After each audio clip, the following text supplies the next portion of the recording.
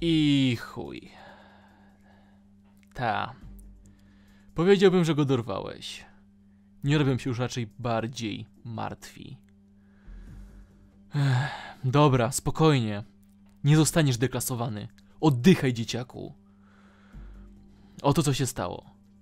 To nie ty zrzuciłeś go z budynku przy użyciu granata ręcznego. Wykonywałeś rozkazy, by go śledzić i pojmać żywcem. Nieźle ci szło, dopóki nikt go nie zabił. Znaczy, jasne. Oczywiście, że ktoś go zabił. Mam na myśli nikogo. Osobę. Albo ludzi. Albo mniejsza. Słyszałeś o nikim, nie? Ta, ten. Robi tajemnicze rzeczy. Pomaga albo nam szkodzi, potem znika. On to zrobił. Jasne? Nie. To nie zupełnie kłamstwo. Dobra.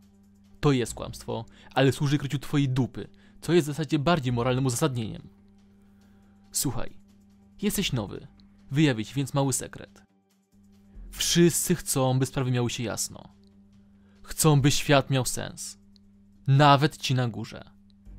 Jasne, wiedzą, że świat jest popierdolony, ale chcą, by był popierdolony na zrozumiały sposób. Sprawy tam, w terenie, to niezły burdel. Czasem musimy robić rzeczy, których oni nie rozumieją. Czasem popełniamy błędy. Ci na górze nawet nie chcą myśleć, że takie rzeczy się dzieją.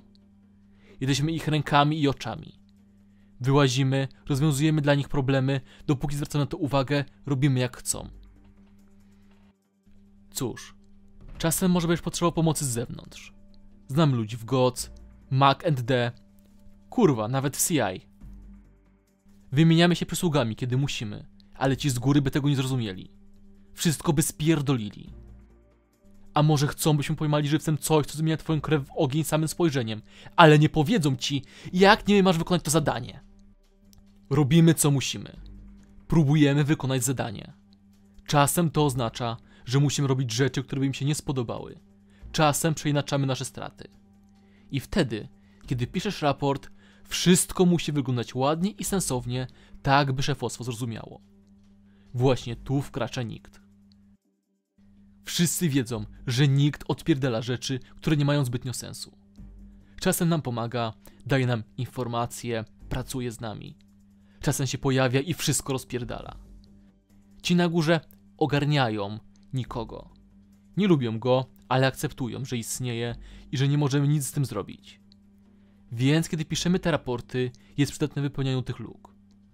Pod koniec dnia misja zostaje wypełniona najlepiej, jak to umiemy zrobić, i ci na górze dostają historyjkę, którą umieją przełknąć. Więc młody, ty tego nie zrobiłeś.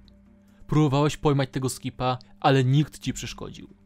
Powiedział jakieś tajemnicze pierdoły, ja coś tu wymyślę. A potem zniknął, nie zdążyliśmy cokolwiek zrobić. Może skoczył z dachu.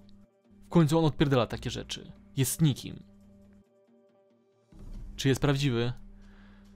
Nie wiem, młody. Sam go kiedyś spytaj.